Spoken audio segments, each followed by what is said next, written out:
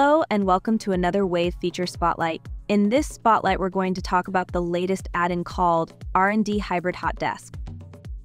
The OfficeRnD Hybrid Hot Desk is designed to help manage flexible workspaces in an office environment.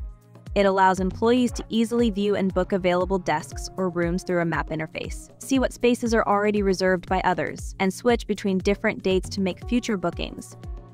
The add-in is especially useful for companies that operate with a hybrid work model, where employees may not have assigned desks and need to reserve workspaces as needed. It streamlines the booking process, providing a clear overview of available resources and letting admins configure and manage the system for the entire team. Now that you know what this new add-in is all about, let me show you how to set it all up. To configure it, you first need to contact the UCM admin to grant Wave Administrator permissions to your extension. As the admin, log in to the UCM Web UI and assign the permissions.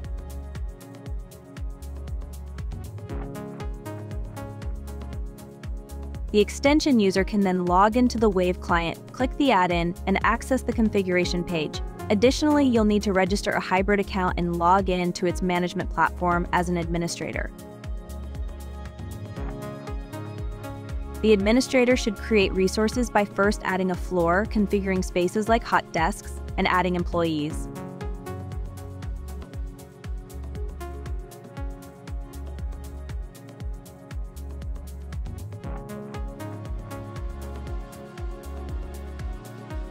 Once resources are set up, the administrator returns to the Wave client, configures the add-in parameters, and obtains the client ID from developer tools. The administrator creates an application, views its client ID and secret, copies them, and completes the configuration.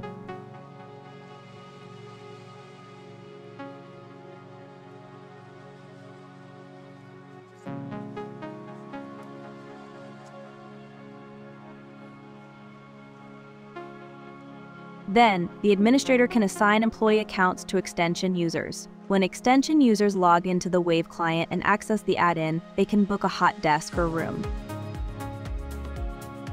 If a specific computer is assigned to a particular hot desk, you can set a fixed hot desk number for that computer.